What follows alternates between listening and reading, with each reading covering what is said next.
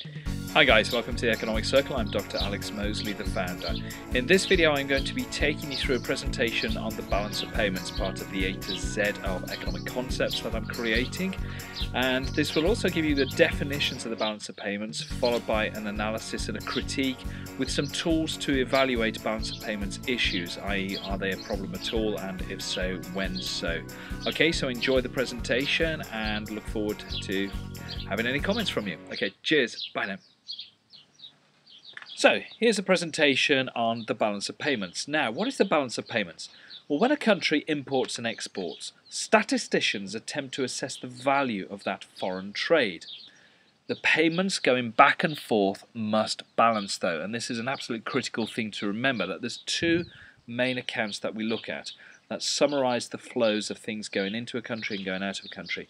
When one of the accounts is in deficit, the other must make up for it the balance of payments must balance. Remember that because that's often forgotten in basic media comments when we hear um, the balance of payments is in surplus or the balance of payments in deficit. No, it's not. It cannot be because it must balance. It's an accounting definition. Nonetheless, what people are often referring to is a specific element or one of the accounts is in deficit, and therefore the other one must, by definition, be in surplus. Right, there are two accounts that we look at. The first one is the current account, which involves looking at the exports and imports of goods and services. This is often broken down into something called the visible trade account. Now, that's the trade, the exchange of physical goods, and the invisible trade account, which is the exchange of services. Both of them are also referred to as the balance of trade. So, the balance of trade can be in deficit if we're buying in more goods and services than we're actually selling abroad. But remember, from the balance of payments, it must balance overall because your other account that we're going to be looking at is going to be paying for that deficit. It also includes on the current account money earned from investments abroad. So if you've got some factories abroad uh, paying profits, dividends, etc., coming back to the home country, um, take away money going to foreign investors who may own factories in this country, for example. And there's also unilateral transfers. So when people working in the United States may send money back to Mexico, or people working in Britain sending money back to India, or people in India sending money back to Sri Lanka or China to Hong Kong, who knows? The current account is often that which attracts media attention. And for a lot of economics in the late 20th century, well, go back to the 30s really, the current account, particularly the visible trade, was something that people focused on a, a bit too much, if you ask me, because it's almost as like, well, we can see cars going out and we can see cars coming in, and this is a disruption if more cars are coming in than going out, because we can see them. However, that's ignoring the services or the invisible trade account, where we earn money on things like banking and insurance and other services such as tourism. Right? Um, here's a balance of payments example from the United States, uh, going from 1992 to ooh, March 2015, quite a, a recent one. Sometimes it's difficult to get a hold of recent data. And you can see that the balance of pa payments um, on the trade account, this would be, see what, see what I mean by this US balance of payments. This is the trade account, so goods and services invisibles, has gone down from um, starting off almost at uh, zero down to uh, lows around 2006, 7 and 8 and not surprisingly there's a financial crisis at that point and then it started to bounce back up and recover. Uh, the United States obviously hit quite an issue there. So again what I've just noticed there that this is called the balance of payments it's actually the balance of trade account. As I've said, it's the current account that often gets most attention. Now, within commentators, there is often a focus on the visible account compared to the invisible accounts, such as tourism and banking, so I've covered that already. The capital account is the second account. This is best understood as assets held abroad, less foreign assets owned in the country. It's also called the financial account, and the two merge a little bit in people's minds. And this is where sometimes we split it into a third account to look at the finances as to what we have in terms of uh, currency assets or gold, for example. Now, if you purchase an asset abroad, say a factory, then the capital account shows a deficit as money leaves the country. On the other hand, if a foreigner buys a factory here, then it shows an increase in the capital account as money flows in. Now, this is often referred to as FDI or foreign direct investment, and that's often seen as a good thing because foreigners are putting money into the country. When people put money into your country, uh, we're like, wow, thank you very much, and that helps to build structures, uh, factories, etc., infrastructure sometimes, uh, and improve the goods and services we can then offer. Of course, the dividends and the payments, the profits, may be um, sent abroad afterwards, though, and that's another issue. Now, the financial account, which is part of the capital account overall, or assets account, focuses on the money, such as the gold, foreign currency reserves, but also, for some reason, claims to land. Not sure why. That move in and out of the country as well. Now, these have repercussions for exchange rates and also help to explain liberalisation as a country moves towards freeing up capital and financial flows, right, with other countries. So that's often in the news that uh, we want to. So Argentina, for example, may impose capital restrictions, i.e., they don't want money or investment capital reserves assets to leave the country. They want to keep it in. That's usually a bad sign. It's usually um, quite predictive of a government struggling or an economy that's struggling and the government's panicking a little bit, right? Now, analogy.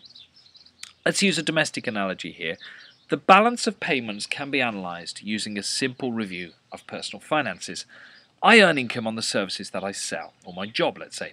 I then uh, spend part of that income on goods and services. Thus far, we're talking about my current account, or my checking account, as it were. Money comes in from sales, money gets spent on the stuff of life. And it's the same with the country.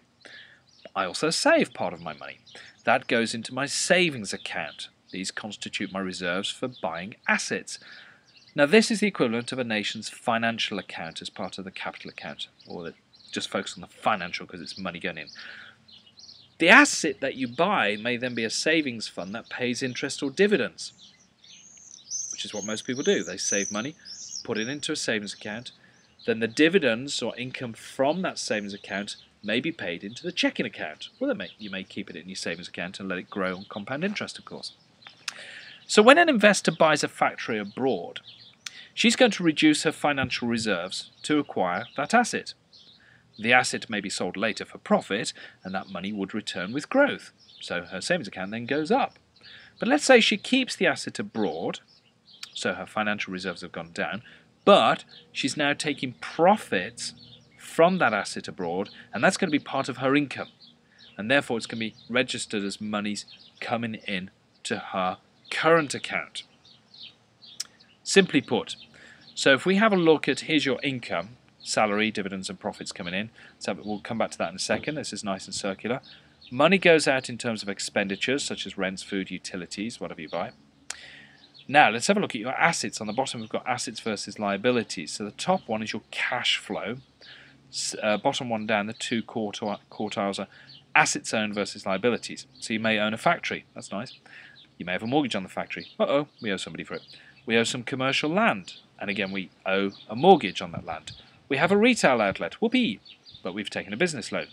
Now the net income after you've paid off the monthly mortgage and loan payments on these three businesses, that net income then goes into your current account in the form of dividends and profits. Now, of course, what you may do is take that net income and put it into a savings account which can then buy more assets, which is the clever thing to do.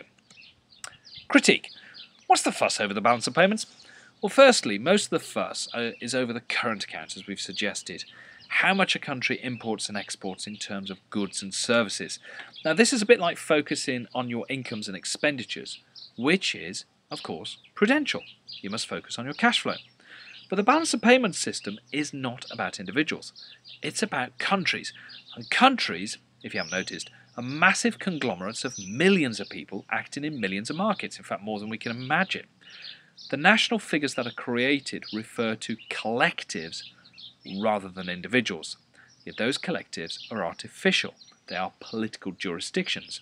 Um, a quick analogy here is I often mention this to uh, British pupils say, okay, uh, there were 23 goals scored in the Premier Division on Saturday, but that's just a conglomerate. How did your team get on? How did Arsenal get on? How did Chelsea get on, etc.? Right? Different question, isn't it? In many respects, if we break down the conglomerate, we don't worry about trade between, let's say, Manchester and London, or Paris and Marseille, or New York and Detroit. It's only because we're historically we've we've created borders through usually through warfare and other means that economists then draw lines around around these countries and create schemes, statistics, to examine what comes in and out. Now, I think most people in the country, um, in Britain for example, would find it risible, laughable, to hear that Manchester was suffering an imbalance of trade. It may be, we don't know. More importantly, we don't care. Now, one day this may be true of nation states, that we won't be talking in economics about the balance of trade between countries. Secondly, economic problems do arise if a nation is overspending on its current account. Now, this is true for individuals. If expenditure is greater than income, then savings or assets has to be reduced to cover the deficit. May also require borrowing from other other people or banks to inject cash into the current account, which of course in turn increases liabilities. In other words, things that have to be paid off. The same with nations. If a nation is spending too much, it's facing a, a balance of trade crisis or a sovereign debt crisis, then it may have to borrow money from international banks or the International Monetary Fund, the World Bank, etc., to get it out of the crisis. But of course, that increases its liabilities. As of writing, where are we? June 2015, Greece is going through this issue, has been for many years, and it's struggling to keep up with payments. The economy is turning around, but ah, there's a lot of things going on there, and we have to look at what the Greek government's doing, overspending, etc., and what the negotiations will turn out to be. So it's an interesting one to keep your eye on, or if it's already happened, to have a look what did happen and what happened to Greece as a result. Evaluation. So, how do we evaluate the balance of payments problem? Well, learn that there is no balance of payments problem as such, it's only problems within each account. So uh, it's like if a person is overspending and running down savings, we can then ask, well, what's the reason for doing this, mate? Well, there may be a justifiable reason, such as he's investing in his education, he's at university, he's not earning as much because after finishing his course, his degree, for example, he can improve his wealth prospects and earn more money. Fair dues. On the other hand, if there's no reason for what he's doing, except that we do see him, see him partying a lot, there's a problem arising.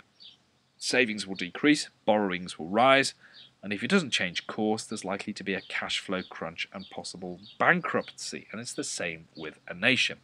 Advert. Two seconds. If you take an Economics A level, by the way, or Econ 101 courses, I've got about 120 videos available for the whole course for a very reasonable fee on economics-circle.com. How cool's that? And also, we've got the magazine, The Economic Circle. Please subscribe. Uh, very reasonable fee. You get uh, monthly issues on particular aspects of economics. So we've looked at sovereign debt. Um, in this one, I'm looking at principles of money. We've looked at commodities. I think next month's going to be growth, etc. So each one's going to be themed. So it provides a nice um, collection of articles for you to read uh, in a readable manner. Um, nothing too technical. Good stuff. Now, Let's go back to nations. Nations can do the same thing as individuals in this regard. Although we're collectivizing them as an issue there, investing can take investing in the country can take resources. And if we're following a plan that will empower the nation into prosperity, a short-term deficit on the current account, like the visible trade account, because we're buying raw materials, makes sense.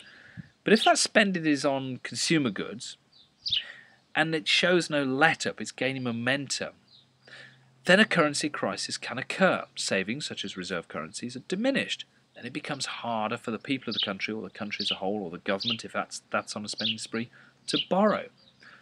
Another issue to be aware of is exchange rate regimes. If the exchange rate is fixed, then the pain of overspending will be felt earlier, and some would say more keener.